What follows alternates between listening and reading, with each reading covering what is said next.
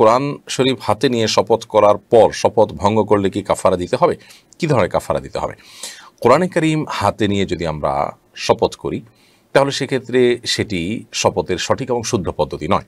শপথ করতে হবে শপথ করতে হবে আল্লাহ সুমাতালার নামে। নবী করিম সাল্লাহ সাল্লাম বলেছেন, মান আরাদা ইয়াহলিফা ফালি আহলিবিল্লাহি আউলিয়াসমুত যদি কেউ শপথ করতে চায়, সে আল্লাহর নামে শপথ করবে অথবা নীরব থাকবে, চুপ থাকবে, অর্থাৎ অন্য কোনো উপায় শপথ করবে না। এজন্য শপথের একমাত্র স্বীকৃত এবং শরিয়া সিদ্ধ পদ্ধতি হলো আল্লাহ সুমাতালার নামে শপথ করা, আল্লাহর কসম রহমানের কসম, আমার জীবন যার হাতে তার শপথ, কাবার মালিকের শপথ, আসমানের মালিকের শপথ এইভাবে শপথ করা যেতে পারে যেটা আল্লাহর নামে শপথ হবে। এর বাইরে অন্য কোনো উপায় শপথ, বিভিন্ন জিনিস ছুঁয়ে শপথ, এগুলো সরিয়া সিদ্ধ কোনো পদ্ধতি নয়। এবং কোরআনে করিম কীভাবে ছুঁয়ে শপথ করা, এটা না পূর্বসরী কোনো সালাফ বা কোরআন হাদিসের আপনার আলোকে এটি কোনোভাবে প্রমাণিত, এরকম কিছু নয়।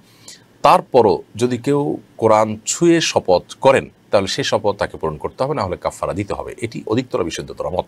যদিও এক্ষেত্রে সৌদি আরবের শেখ মোহাম্মদ সাল্লাহ মজিদ হাফিজাহুল্লাহ ভিন্নমত বলেছেন, শেখ ইবনু সাইম রহমতুল্লাহ ভিন্নমত বলেছে যে, কোরআন ছুঁয়ে শপথ করলে শপথ সিদ্ধ হয় না এবং এটার জন্য কোনো কাফারা দিতে হবে না। কিন্তু অনেক ওলামা একরাম এই মতের সাথে দ্বিমত করেছেন এবং সেই মতটি অধিকতর শক্তিশালী আমার কাছে মনে হয়েছে। কারণ হলো যে শপথ এটা অনেকটা আরোফের উপর নির্ভর করে। দুরে মুখতার তথা ফতোয়া স্বামীতে এ বিষয়ে বিস্তারিত বলা আছে যে শপথ যদি কোনো পরিবেশ, কোনো পরিবেশে, কোনো সমাজে কোনো কিছুকে শপথ হিসাবে মানুষ নেয় এবং সেটাকে ব্যাখ্যা করে শপথের ক্রাইটেরিয়াতে ফেলা যায়, তাহলে এটাকে শপথ হিসাবে গণ্য করতে হবে।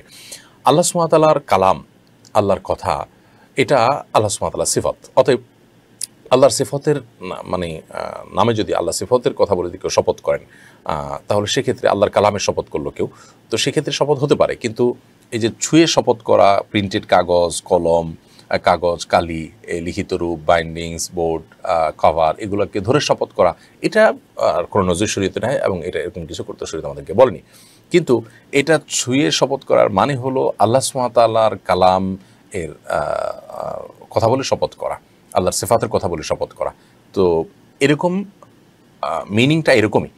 যেহেতু মিনিংটা এরকমই, উদ্দেশ্যটা সেরকম বেশিরভাগ ক্ষেত্রে এখানে ওই মলাটার ইয়ে উদ্দেশ্য না, উদ্দেশ্য হলো আল্লাহর কালাম। অতএব সেটাকে আপনার শপথের ক্রাইটেরিয়াতে ফেলা যায়। ওরফে যেহেতু এই উদ্দেশ্যে মানুষ করে থাকে, অতএব এটাকে শপথ, এই ওরফে আমাদের এই সমাজে এটাকে শপথ হিসাবে আপনার গণ্য করা হচ্ছে, সেটাই বলা যায়। সেই জায়গা থেকে এই শপথের কাফারা দিতে হবে। তবে এ ধরনের শপথ করতে মানুষকে নিরুৎসাহিত করতে হবে যদি এটি সুন্নাসম্মত শপথ নয়। মুখে শপথ করতে হবে আল্লাহর নামে বা আল্লাহর কোনো আপনার কোনোভাবে যেটা আল্লাহর দিকে সম্বন্ধিত হতে পারে, যেমন কাবার রবের শপথ, আসমান জমিনের রবের শপথ, চন্দ্র সূর্যের রবের শপথ, আমাদের সবার পালনকর্তার শপথ, এভাবে যে কোনোভাবে ঘুরি ফিরিয়ে আল্লাহর নামে শপথটা করতে হবে, অন্য কোনো নামে নয়। অতএব এই ছুঁয়ে শপথ করার এই ক্রাইটেরিয়া এই ইয়ে থেকে আমাদেরকে বেরিয়ে আসতে হবে। অনেক অমুসলিমরা, বিশেষ করে খ্রিস্টানদেরকে আমরা দেখি, তারা বাইবেল ছুঁয়ে শপথ করে এবং অন্যান্য ধর্মাবলম্বীরা করে। এই ট্র্যাডিশন যাদের থেকে আসুক না কেন, ইসলামের ট্র্যাডিশন নয়। বিধায় আমরা এই ছুঁয়ে শপথ নয়, বরং মুখে উচ্চারণ করব এবং সেটা আল্লাহ তালার নামে।